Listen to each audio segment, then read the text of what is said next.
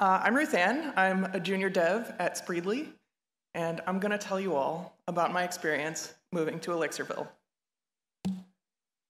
So, uh, when I decided a number of years ago that it was time I should learn to program, lots of people told me not to worry too super much about what I started with, um, because you know you learn something and then you're just gonna have to learn something else in a minute. So I just picked up whatever the class I was taking or the tutorial I was working through or the job I was doing required, which was Racket and then Ruby and then JavaScript, Python, Java, SQL, Rails, Ember, Pyramid, Jekyll, Flask, Node.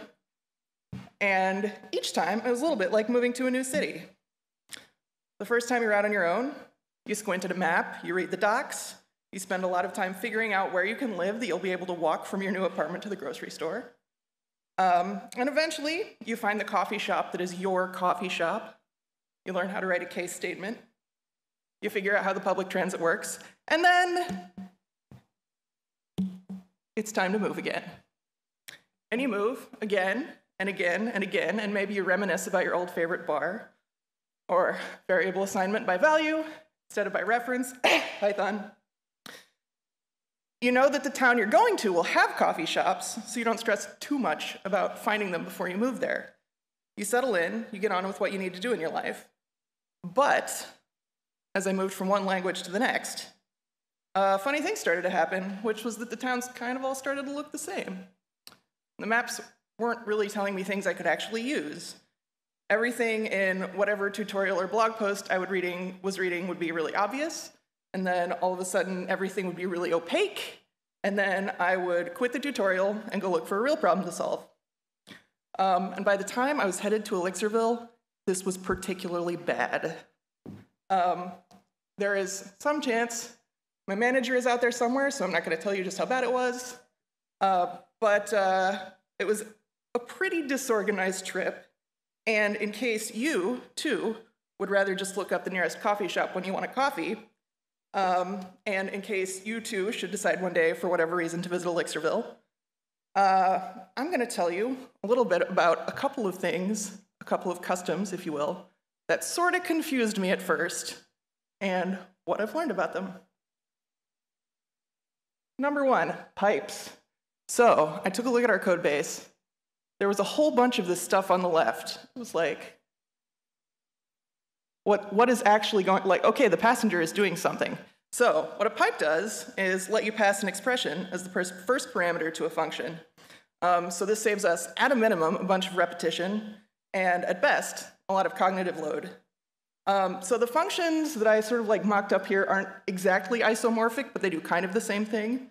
Um, I tried to make the second one over there at least like a little bit idiomatic in Ruby, so I wasn't like torturing the example too much.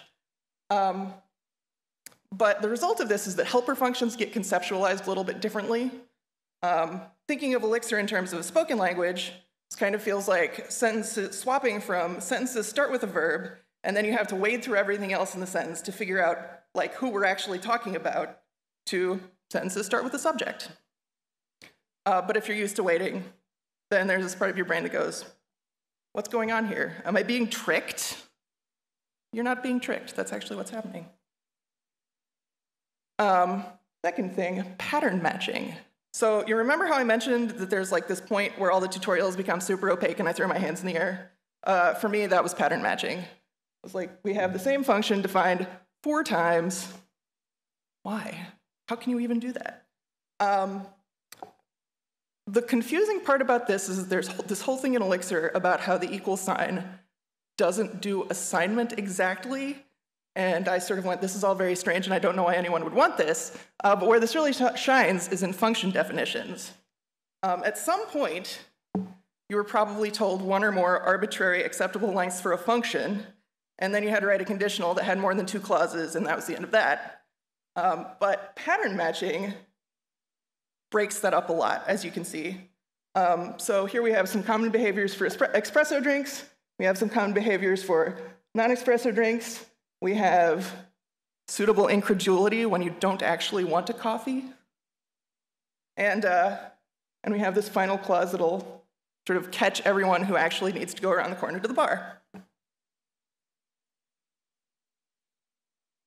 finally, probably the most cultural of all of these, mix format um, will find what code you wrote that isn't um, appropriately formatted.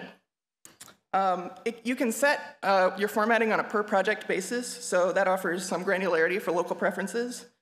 And um, it's great. No one likes to be culturally insensitive, especially not an accident. Uh, now, when I was writing this, I thought there was a way to have mix format like actually show you what you had done wrong. I can't actually figure out how to do that anymore, but if um, you, like me, always forget to check your formatting until after you've committed, uh, then you can just go see what's different and amend your commit. So those are some things that I got to learn on my way to Elixirville.